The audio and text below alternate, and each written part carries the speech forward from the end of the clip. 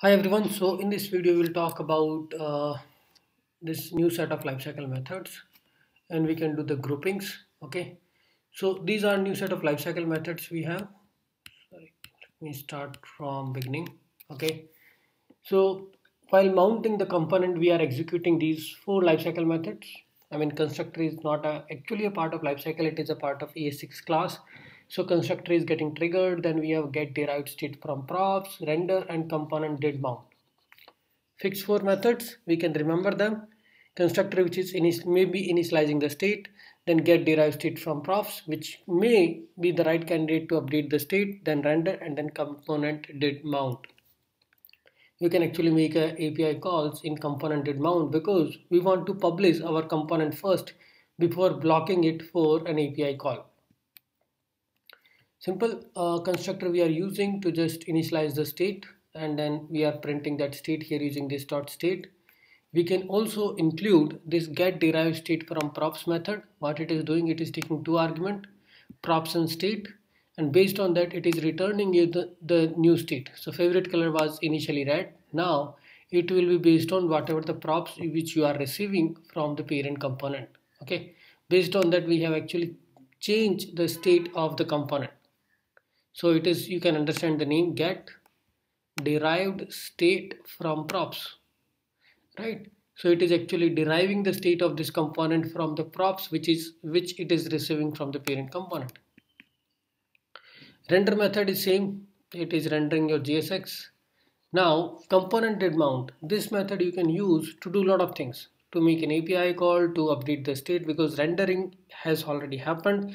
Now what you can do is you can play around the state. You can check okay after making this API call what state should be. You can update the state here or you can do any asynchronous stuff here to update the state.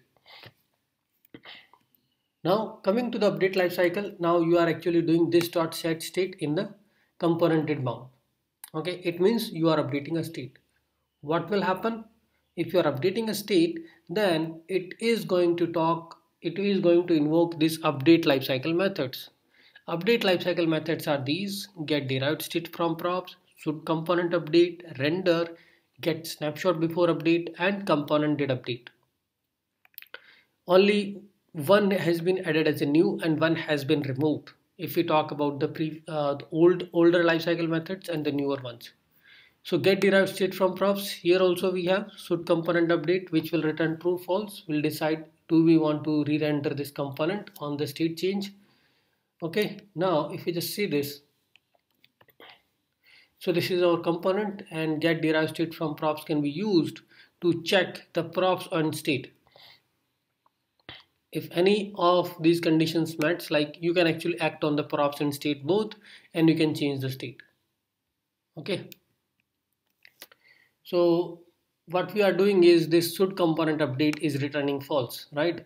You can write these update lifecycle methods in your component. If you are returning should component update as a false then re-rendering will not happen because a lot of things depends on what should component update is returning. First of all if there is a need to override it then only override it. Otherwise do not need to define it here. It by default it is returning true.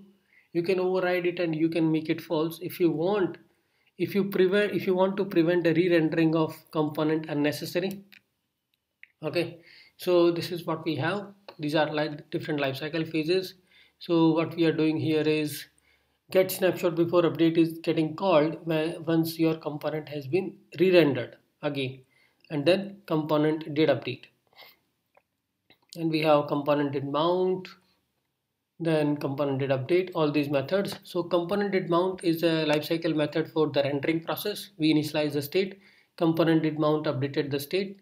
Now the again the same set of methods will execute. Derive state from props should component update then get snapshot before update and component did update. Okay? You don't need to override should component update. If you want you can do. So if you talk about here we are using two components two lifecycle methods from the update sequence so component did mount is from the mount lifecycle methods. It is updating the state.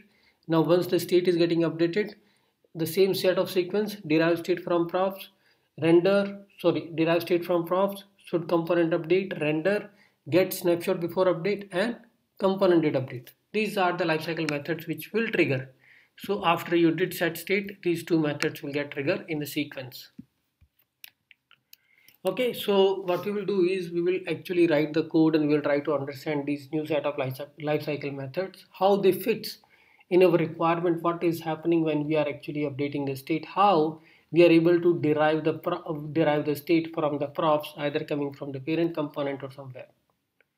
Okay thanks everyone